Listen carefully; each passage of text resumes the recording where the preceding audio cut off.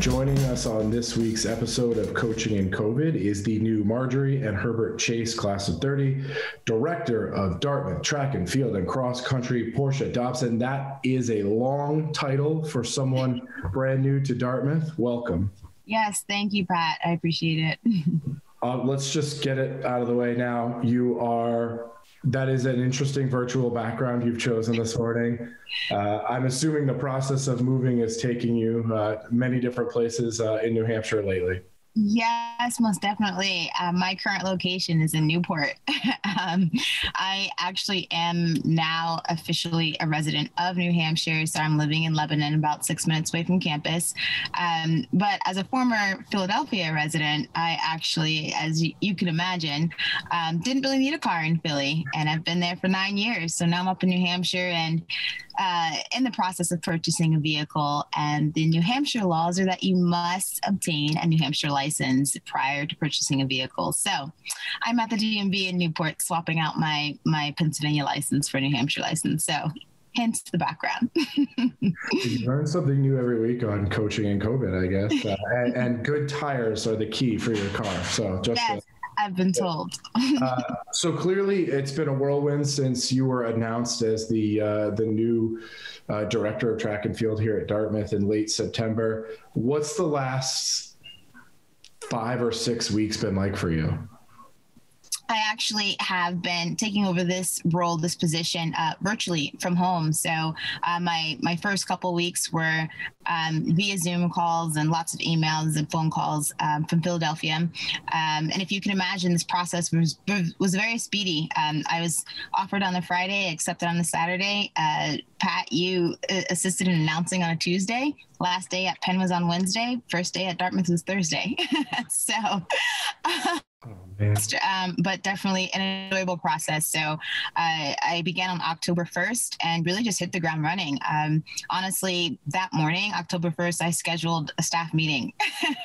so we we started meeting and started uh, talking and um, providing my my plans, my goals, my visions with the staff, and really being able to get to know them. And our first team meeting was that next day on Friday, so I was able to address the entire team, and really just been moving forward since. Um, and once I arrived in New Hampshire, of course, after quarantine, now I'm able to uh, be on campus, uh, see see the facilities, my office, and finally be able to see some student athletes in person, which has been quite nice. So it's been a good experience.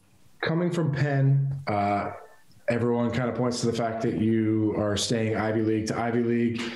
Um, you had to have known some of these coaches. Obviously, I, I know I had uh, conversations with Courtney, and, and, he had nothing but good things to say about you and how excited he was that you were the person that was hired. What did you know about the staff uh, that you have coming in um, before getting here on a personal level, I guess? Yeah, that's that's a good question. I actually haven't been asked that before.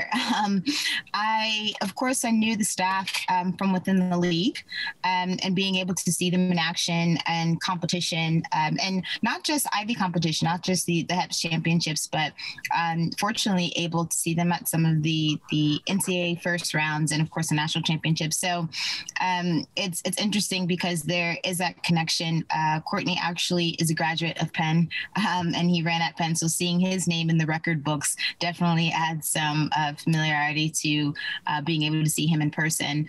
Um, and then just being able to compete against Tim. Actually, uh, I covered sprints, hurdles, and horizontal jumps while at Penn, and um, I shared the multi events while I was there. So definitely in in Tim's realm of course, for all the other coaches as far as relays and so on and so forth. So not really knowing anyone on that quite that personal level that we, you know, I could call up and say, hey, what's going on, but be able to know definitely as uh, competitive colleagues um, uh, uh, during my time in the league. So you have what some people might call the unenviable task of following um, personalities, uh, beloved personalities like Barry and um, the late Sandy Ford yeah. Centonze that being said, I know Barry is very excited for you to take the program to the next level. Have you had any interaction with him uh, since you've gotten hired and really kind of felt that passion, that love that that very few people can match that Barry Harwood had for this institution?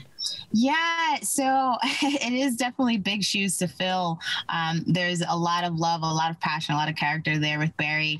Um, I've been able to have a bit of an insight of that uh, during Ivy League calls, um, coaches meetings, and so on and so forth. And we always said um, at my last institution, we we always re- really respected Barry's comments and opinions as being very thoughtful and um, ones that we always kind of really took seriously in consideration and moving forward. So um, when it was time to take over his position, um, I was pleased. Barry and I did speak the second day, so October 2nd, actually. Um, we had a nice phone call, just really open. Just I was able to pick his brain a bit, and he was uh, just very willing to offer me um, advice and suggestions and uh, kind of give me the ropes a little bit, show me the ropes, I guess, over the phone.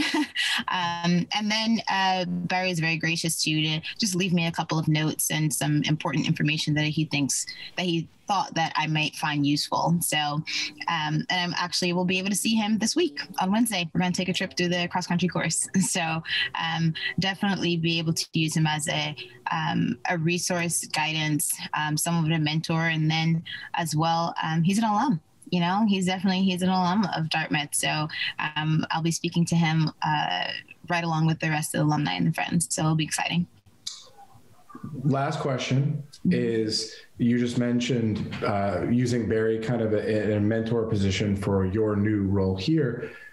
How do you view yourself? Because I think a, a lot of women in your position right now are not only serving themselves as, or seeing themselves rather as a head coach of a program, but you are really setting a great example and, and going to be a mentor for not only the girls and young women on your team, but the girls in the community who are going to look up to you and, and from across the track community and see really that anything is possible. What does that mean to you?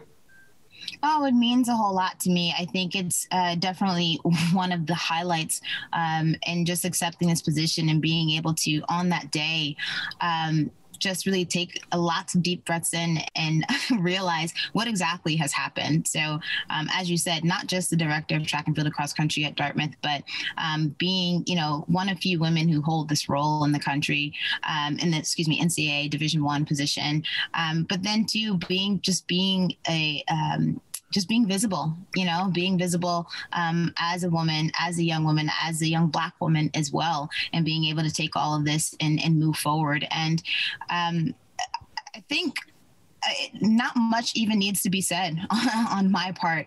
Um, so many people have have recognized it and are have been inspired already and empowered, and just from them reaching out via text message, phone calls, emails, letters, um, still receiving them. And, and then also, too, just looking for um, lots of people are very they're much more open now to ask for assistance, um, to look for guidance, um, to really um, ask for advice. But I think what is really fun is for my former athletes to have been able to see uh, my my path and my progression, um, and everyone in the track and field world really to really be able to see where I came from um, and, and every step of the way, and then to be so welcomed by the track and field and cross country team here. Um, they were so excited, um, and and they expressed that to me in all different types of ways, and both from the the men and the women on the team. Um, they respect me they respect what I've done. They respect my position,